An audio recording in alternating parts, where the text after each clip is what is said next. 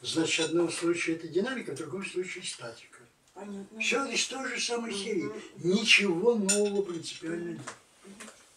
Игорь И тогда, и тогда все вот эти три слова, которые К это ба, ля, ла это ка, ба, ба это и так далее. Тройка крутится, а смысловые оттенки, они возникают не из содержательной информации, из согласных.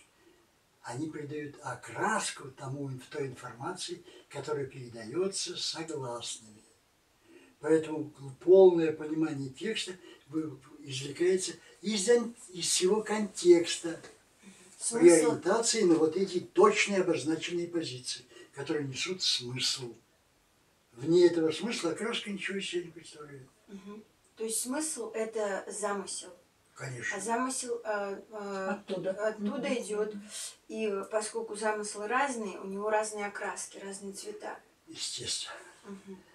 Нет, ну там еще тоньше вся эта... Ну, это надо все читать сразу. Я поняла. Это все вот времен связующих. Здесь смысл Поняла, в том, что Что Каббала? Каббала. Это эзотерическое древнейшее учение, которое было известно в Древнем Египте, и оно записано на досках. А Можно еще раз искали? К это вот какая душа? Душа, эмиссия, Эмиссия. рассеяние. Рассеяние. Оно и сам звук-то к, Мгм. Мгм. а б, б удар. То есть вот взрыв, вот, пх, Да. говорите. Так куда? Пота- Так, потому что ударилось. Значит, сначала Б, а потом К. Сначала б, Да. а потом Ба! к. Идея пришла. Да, да, да. Ба! Ба. Идея. Попала в точку. Так, э, Даже звук такой. Рассеяние. Догадал, ба, матушки мои. Да, а я только еще. А, А.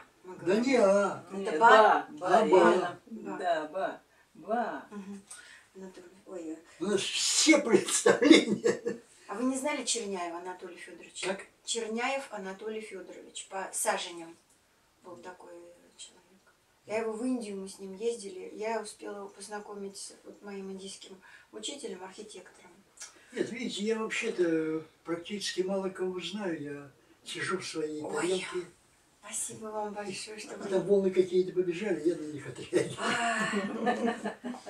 Так что, вы волна, А на можно которую Игорь Павлович да. отреагировал. А можно я вам немножечко расскажу, вот что у меня как бы накопилось, если Конечно, можно, а голова взорвется. Потому что я взорваться готова. Хочется сказать немножко. Вот, значит, чего основу того, чему меня учили в Индии, да?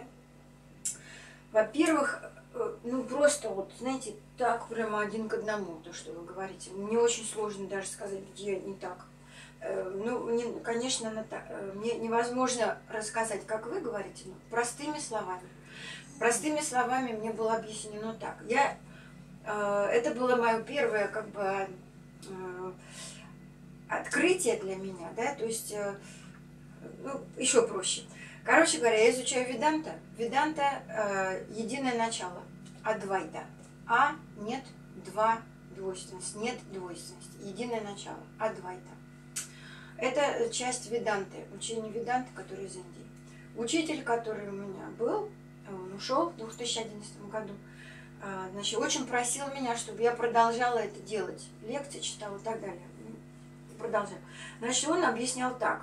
Парабраман, пара, супер, браман, супер атом, он говорил. Но он говорит, атом, параматма у них, пара, атма, атман. Как бы он говорит атом, но не в том понимании, как сейчас мы думаем об атоме, да?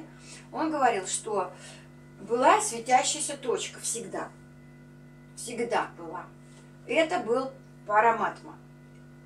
Вот из него э, он там как бы существует, и даже у него ни формы нет, ни объяснений, ничего невозможно словами объяснить. Точка. Вокруг, даже вокруг слова нельзя сказать, то есть была пустота. Точка и пустота. Пустоту называют, ну, это- я знаю, что это там по-другому, но просто хочу выразить, да, а то я собьюсь. Значит, э, параматма, пустота суньям, барам, сунья, сон. Полностью забыто все. И это в потенциале там все как бы есть. Вселенные, там все люди, растения. Все существует в потенциале. Это ночь Брамы. Ничего нет. Вселенной нет, времени нет, пространства нет. Только есть точка Парабраман или Брахма. Браман. Под- э, значит, пришла и опять простые слова, идея пришла создать, э, испытать знания. То есть знания есть, а опыта нужно опыт получить. Взрыв произошел, как бы биг биг. Произошел взрыв, это в точке. Точка взорвалась, э, пошел поток света, и стал заполнять, наполнение пошло, э, вот это божественный свет, он стал вытекать из точки, в неограниченном количестве образовалась Вселенная. Светящееся э, пространство, наполненное э, энергией э, мысли Бога. Ну, Бог это, мне сказали, ограниченное слово. Есть Бог, там у них свои градации. Короче, и вот Парабраман взорвался, грубо говоря. Образовалось пространство и время. Время и пространство абсолютно соединены. В этом есть решетка, вот такая прямые линии, идущие через всю Вселенную. А, и все создано кубами. Кубы, кубы, кубы, кубы. Значит, куб сам по себе это состояние покоя, полного покоя, где нет мысли. Мысли не существует. То есть э, это состояние блаженства, э, где мысли не раздирают суть в полном покое. Появляется мысль, появляется в этом кубе точка, струна света, струна начинает вибрировать, это танец Шивы называется у них, так? И начинает точиться энергия э, света, ну, любовь, источается любовь, и выбро- выброс, эм, ну, скажем, э, обычными словами, световой энергии божественной происходит от того, что возникает мысль. Причем есть абсолютная вибрация у Вселенной, которая восьмерками идет. Восемь пульсов. Раз, два, три, четыре, пять, шесть, семь, восемь. Парабраман э, пульсирует восьмерками для того, чтобы создать Вселенную. Потом промежуток времени, который адекватен морганию человеческого глаза. Моргнул, следующие восемь пульсов пошли. В промежутках между восьмью пульсами идет рост материи.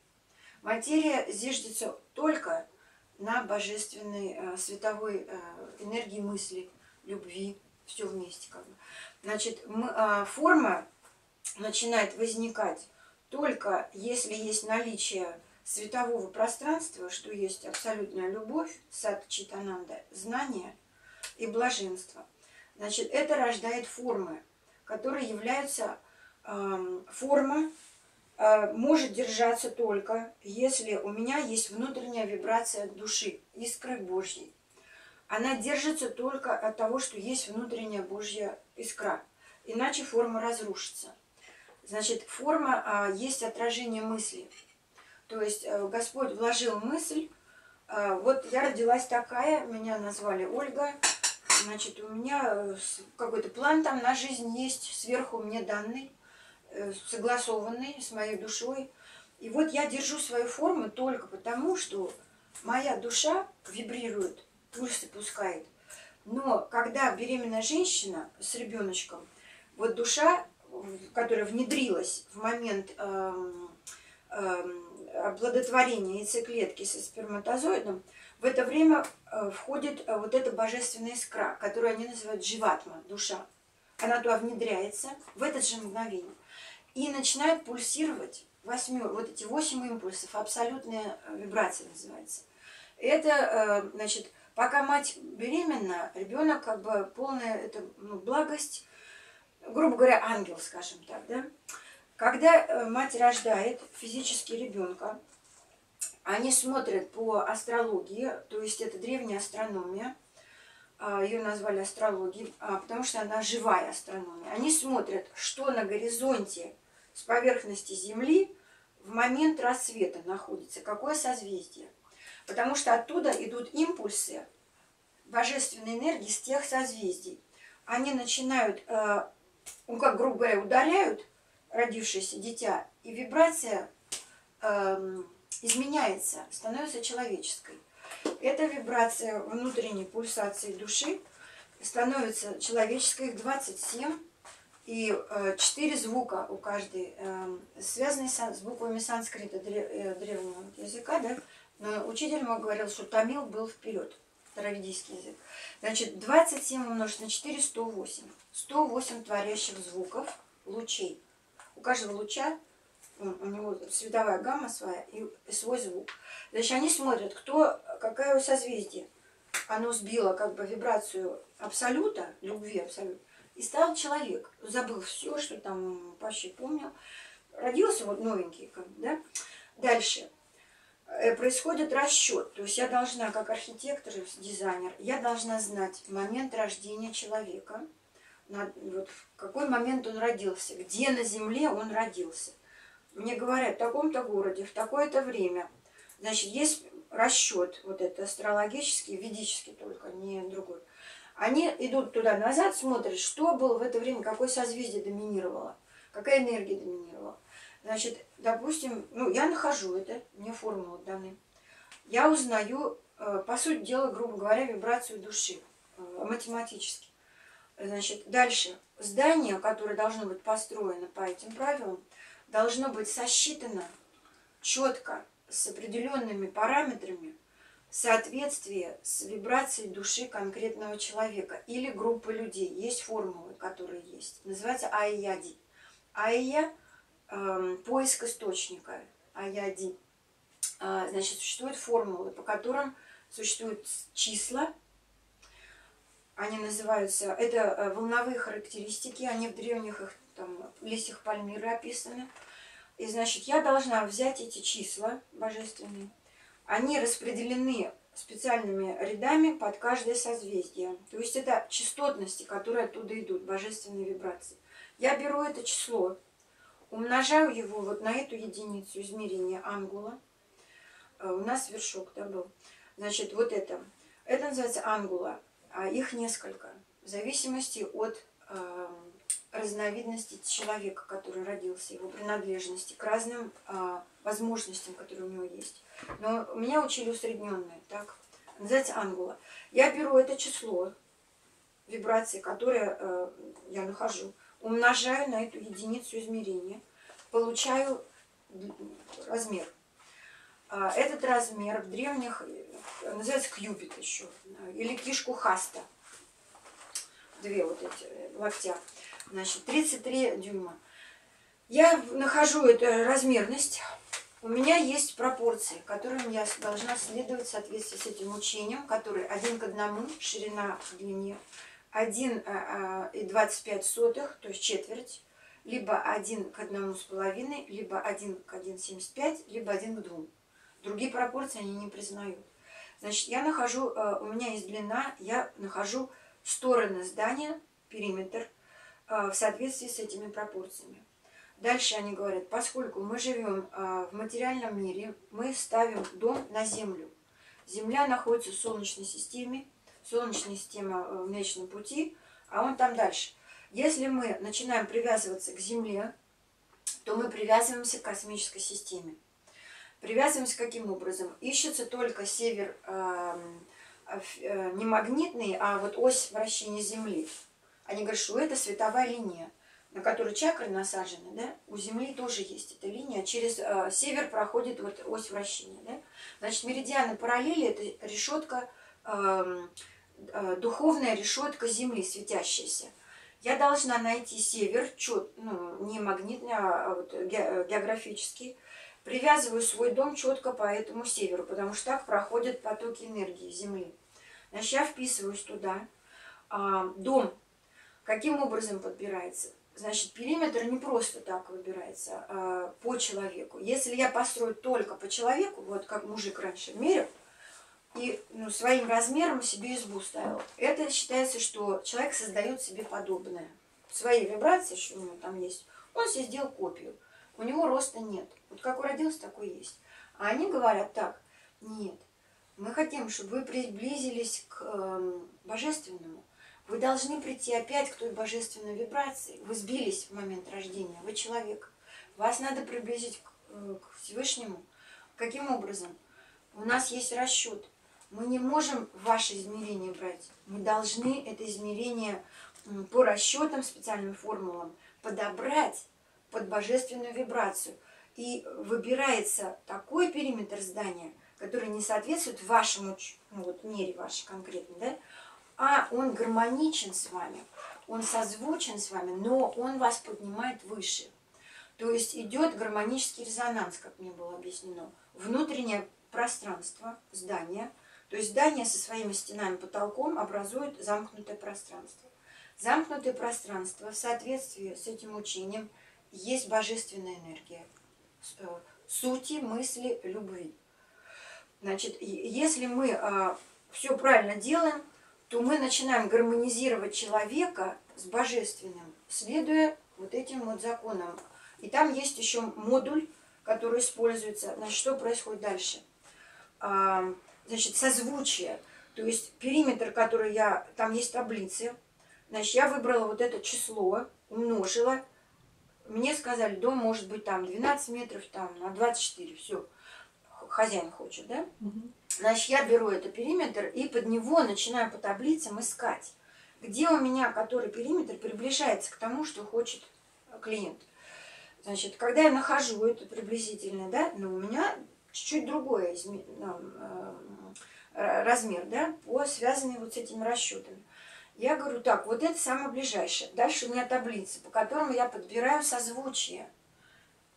Вот, вот этих звуков, которые даны, э, еще таблица. Дом звучит с этим звуком, человек звучит с этим. Их, допустим, несколько. Женщина берется первой. Потому что если дом не подходит под женщину, а она в древние времена была хозяйка дома, все время работала там, она не может, э, если дом не созвучен с ней, она болеть будет. Значит, сначала берется женщина по древним этим учениям, потом мужчина. А идеально должно вместе все быть. Значит, их раньше не давали жениться, кто как хочет. Они смотрели, подходят у них их э, душевные как бы вибрации, ну, гармонируют они или нет, резонируют. Там ну, Брамин, он разрешение давал. Смотрит, ага, ты тогда родился тогда. Как бы вы что бы ни делали, ну не будьте вы созвучны. И слушали в древние времена, значит, родителей. Значит, э, вот, э, значит, дом будет созвучен с этой парой семейной. Дети уже рождаются, тут ничего не сделаешь, да? А они должны быть созвучны. Значит, что происходит с периметром? Я получила периметр. Поскольку мы в материальном мире, у них написано в этих э, листьях пальмир, которым более 10 тысяч лет, записано, а, а как бы вербально, э, в поэтической форме передавалось намного дольше. И это пришло, вот это учение конкретное, с юга Индии. Они сказали, что был континент, который затонул, находился он в экваториальной зоне. Они думают, что это доктор, мой учитель говорит, это была Лемурия. Он не так говорил. Значит, этот древний архитектор, его звали Майян. Майян.